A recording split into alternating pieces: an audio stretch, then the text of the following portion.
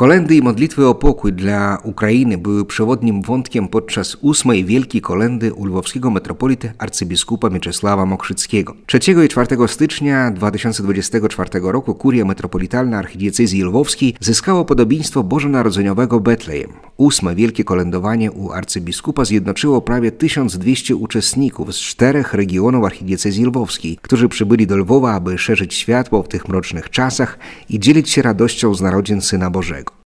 Metropolita osobiście witał każdą grupę, a po występie wszyscy tradycyjnie otrzymali słodki upominek oraz zaproszenie na poczęstunek dla pielgrzymów. To już po raz drugi wielkie kolędowanie u arcybiskupa odbyło się podczas inwazji rosyjskiej, więc w każdym występie brzmiała kolędowa modlitwa o pokój i pokonanie wroga, także szczęśliwy powrót z wojny wszystkich obrońców. Jak i co roku jedna z grup kolędników przewyższa pozostałych uczestników jakimś, jakąś atrakcją. Pierwszego dnia Wielkiej Kolendy w arcybiskupa wszyscy obecni, a zwłaszcza metropolita, byli zaczarowani i wzruszeni kilkutygodniowym barankiem, który przybył wraz z kolędnikami z parafii Matki Bożej Rudeckiej.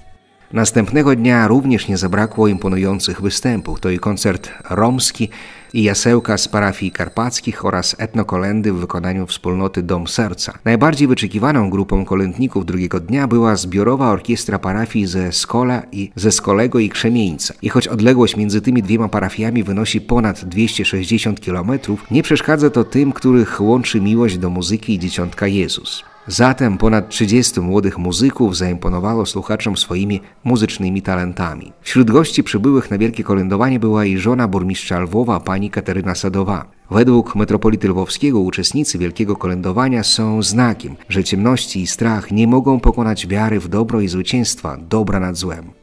Wielka kolenda u metropolity lwowskiego zakończyła się późnym wieczorem 4 stycznia, a jednak melodie kolęd będą jeszcze długo rozbrzmiewać w sercach uczestników.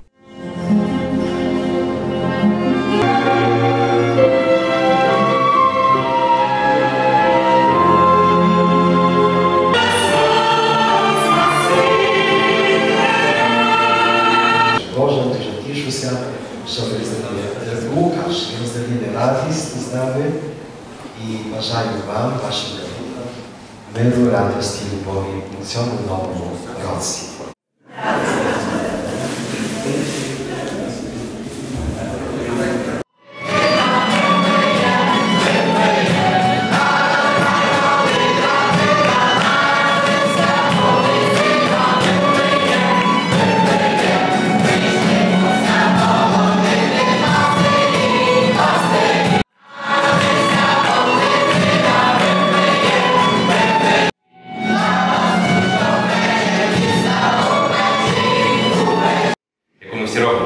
Тепер я запрошу ще молодших дітей, які ще, щоб вони також могли заспівати з нами. Давайте дітки всі ходіть сюди.